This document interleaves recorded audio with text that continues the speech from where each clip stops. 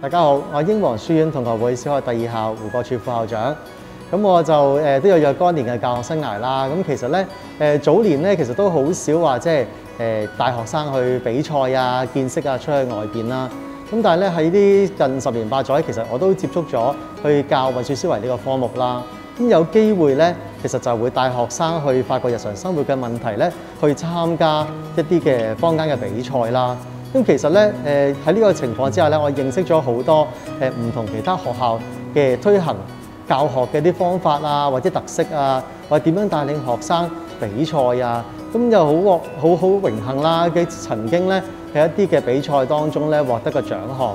咁又都令我諗下啊，其實曾經贏過獎咧，就會諗下點樣令到學校誒嘅成績會再好啲啊，或者比賽成績會好啲啊。諗下會唔會從教學嗰個方案咧去着手啊？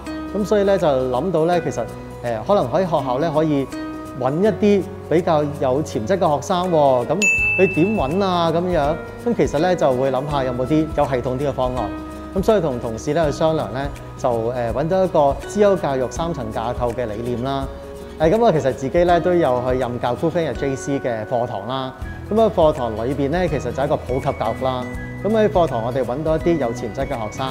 咁當然我哋有啲抽離嘅課程去再進一步培訓佢。如果發覺佢都係即係好有誒、呃、能力嘅話咧，其實我哋都會幫佢報一啲嘅比賽，尤其是係全港小學生運輸思維比賽啦。咁其實都係從生活出發嚟到去解難嘅。咁由一七年開始，我哋去參加啦。咁開頭都係一啲誒比較簡單嘅嘅諗法，學生就係誒諗一啲解決日常生活嘅問題。咁啊用 App Inventor 去寫一啲手機用程式。可能就幫老師誒點名啊、誒點功課啊咁樣樣啦。咁加上之後咧，個課程都有不斷優化嘅。咁係好似誒二零年咧，其實都有加入咗誒 Coolfair JC 嘅一啲人工智能嘅單元課程啦。